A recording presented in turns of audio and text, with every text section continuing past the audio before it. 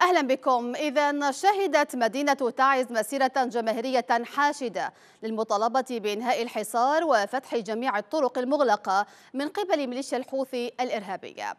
وتجمعت حشود المتظاهرين في جولة العواضي وسط المدينة. منطلقة صوب المقر المؤقت للمحافظة. ورافعة شعارات تندد باستمرار الحصار وتماهي المبعوث الأممي مع الميليشيا. وقال بيان الوقفة التي شاركت فيها مكونات سياسية ومدنية وتربويون وأكاديميون وطلاب وحقوقيون. قال إن الملف الإنساني حزمة متكاملة غير قابلة للتجزئة.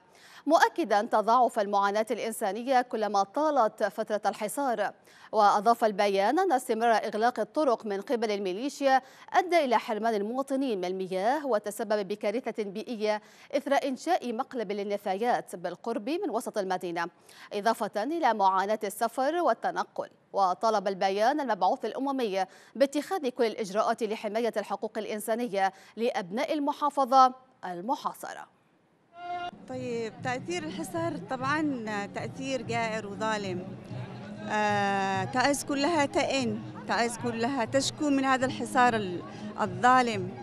آه الماء الكهرباء الغذاء الدواء كله كله كله ما يوصلش لتعز نتيجة هذا الحصار. وحتى إن وصل توصل بتكاليف باهظة كبيرة فوق طاقة أي المواطنين. خرجنا إلى هذا المكان من أجل المطالبة برفع الحصار. كون محافظة تعز ليست فقط ليست مقيدة بحقوق الناقل فقط حرية التنقل وإنما مقيدة كذلك محاصرة غذائيا. حق المواطن في التنقل معدم حق المواطن في كذلك في في الغذاء في الحصول على العيش الكريم معدم لذلك نحن تواجدنا هناك من رفع الحصار وكذلك من أجل حصول المواطن على حقه الرئيسي. طبعا خرجنا كاحتجاج من أجل الفك عن الحصار عن تعز بسبب المضايقات والطرقات الوعرة التي تأذينا بها.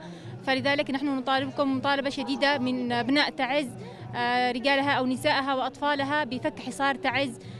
منذ سبع سنوات وهذه السنة الثامنة وتعز ترتاح تحت الحصار الخانق أثر على حياتها الاجتماعية والاقتصادية. أسقط سلبا على حياة المجتمع التعزي بشكل عام. اليوم خرجنا في هذه المسيرة نوصل رسالة قوية عشية بدء المفاوضات اليوم على فتح المعابر الرئيسية لمحافظة تعز. ونوصل رسالة للمجتمع الدولي بأن تعز اليوم وحصارها الذي يستمر سبع سنوات هي على المحك اليوم من من المواثيق الوطني المجتمع الدولي. وكذلك رسالة نوجهها إلى الوفد الشرعية بأن لا يرضخوا لأي ضغوطات. بالنهاية تعز لا زالت تحت الحصار ويجب على المجتمع الدولي الوقوف إلى جانب سكان تعز الذين يبلغوا أكثر من أربعة ملايين نسمة. إذا تعز تشكو وتئن جراء هذا الحصار وللمزيد حول هذا الخروج في محافظة تعز. ينضم معنا مراسلنا من هناك أيمن قائد. نرحب بك أيمن معنا في أخبار المنتصف. إذا تعز خرجت عن بكرة أبيها للتنديد بهذا الحصار الجائر على مدينة تعز. كان لافتا حضور النساء وكذلك الأطفال. إذا ضعنا في هذا الخروج أيمن. نعم أماني. إذا أطلع تعز احتجاجات عديده ووقفات ممدده باستمرار الحصار لكن مسيرة اليوم الجماهيرية كانت هي الفعالية الاحتجاجيه الابرز خلال هذه الأيام وخلال كذلك السنوات الأخيرة الماضية.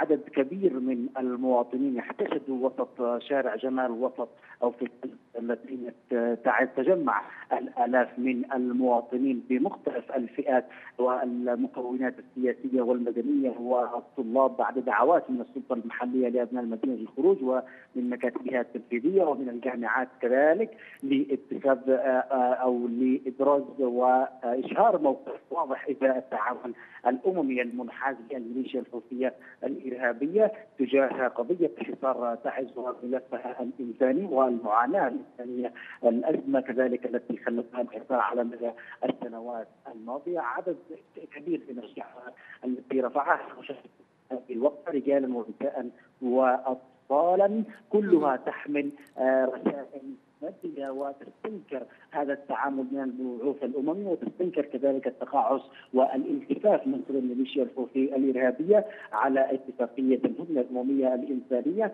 التي تقضي بفتح منافذ تعز مقابل فتح مطار صنعاء وميناء الحديدة إلا أن منافذ تعز وطرقها الرئيسية ومنافذها الرئيسية ما تزال مغلقة حتى هذه اللحظات نعم. مع ذلك تطالب ميليشيا الحوثي الإرهابية بتمديد هذه الهدنه آه، لأنها وجدت ضالتها وتحققت لها مطالبها فيما تلتف آه، حول آه، ملف أو حول بند فتح منافذ وطرق مدينة تعز المغلقة من كل الجهات من قبل الميليشيا الحوثية نعم. الإرهابية والتي اتخذ المواطنون بديلا نعم. طويلة أيضا أيمن صدر هناك بيان وهناك اتهام مباشر للأمم المتحدة للتماهي مع هذه الميليشيا ضعنا أيضا في هذا البيان ويعني هل يتهمون مباشرة الأمم المتحدة لعدم اتخاذ أي إجراءات ضد هذه الميليشيا؟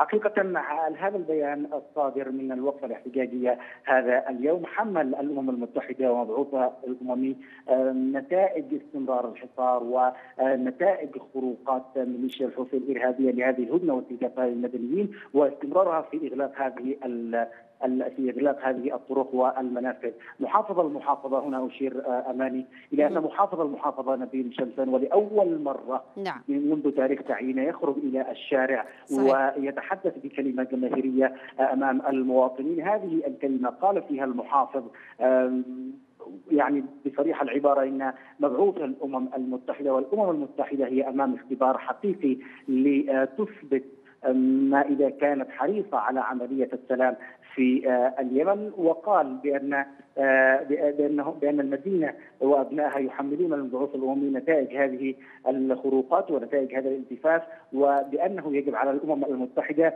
آه، عدم الالتفاف على وعدم الانحياز إلى ميليشيا الحوثي الإرهابية نعم. وحملوا مسؤولية تجاهل أو تغافل الوضع الإنساني في تعز والذي امتد لأكثر من سبع سنوات وهو ما يضع أكثر من 4 مليون نسمه في وضع انساني ماساوي هو موقف ليس فقط موقف السلطة المحلية وهذا البيان يمثل كل أبناء مدينة تعز بكل فئاتها ومكوناتها السياسية والمدنية التي آه، ألحقت بها جميعا آه، هذه الآثار الاقتصادية والإنسانية والمعيشية إثر استمرار الحصار العام نعم. الثامن على التوالي. إشارة مهمة آه، أيمن لتواجد محافظ تعز نبيل شمسان وتأييدي لهذا الخروج وكما تحدث يعني أيضا قال تعز لا تريد سوى الحصول على حقوقها كاملة غير منقوصة، اذا أيمن خلال تواجدك الآن هل سوف تستمر هذه المظاهرات الآن لتكون قوة ضغط على المتفاوضين في عمان وتجبر الأمم المتحدة أن تتخذ إجراءات فيما يتعلق بفتح الطرقات وسرعة أيضا فتح الطرقات لتخفيف من هذه المعاناة الإنسانية التي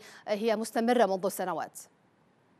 آه، أماني من خلال تواجدنا في وتغطيتنا لهذه المسيرة الجماهيرية رصدنا آه، آراء المواطنين والمتظاهرين الذين قالوا بأن هذه المسيرة وهذه الفعاليات الاحتجاجية هي الوسيلة الوحيدة للتعبير عن احتجاجهم وسخطهم ضد استمرار الحصار خاصة خلال فترة الهدنة. ويطالبون المجلس الرئاسي بعدم قبول تمديد الهدنة نتيجة آه، نتيجة أن الميليشيا بالسلام والتجارب معها كثيرة. ويشددون على أن بعد انتهاء هذه الهدنه يطالبون المجلس الرئاسي بدعم قوات الجيش الوطني لكسر الحصار بدلا من مطالبه الأمم المتحدة بإنهاء كون الميليشيا لا تؤمن إلا بالحرب وكون القوة العسكرية هي السبيل الوحيد لإنهاء هذا الإرهاب الحوثي، أشير هنا أمامي إلى أن هذه الفعاليات الاحتجاجية مستمرة ولن تتوقف، البرنامج الاحتجاجي بحسب السلطات آه، مستمر خلال الأيام القادمة، يوم آه، غد ستكون هنالك وقفة نسائية عصرا في آه، آه، المنفذ الشرقي أو قرب المنفذ الشرقي للمدينة نعم. وكذلك مكتب الأوقاف أعلن بأن صلوات وشعائر صلوات الجمعة ستقام خلال الاسابيع القادمة في المنافذ، الجمعة القادمة ستكون تحديدا في المنفذ الغربي في حي المطار القديم وسيتم الإعلان عن أماكن الصلاة في الأسابيع التي تلي الجمعة القادمة، ما يعني أن هذا هذا البرنامج الاحتجاجي والفعاليات الاحتجاجية مستمرة خلال الأيام القادمة. جميل أشكرك على كل هذه المعلومات مراسلنا من تعز أيمن قائد شكرا جزيلا لانضمامك معنا.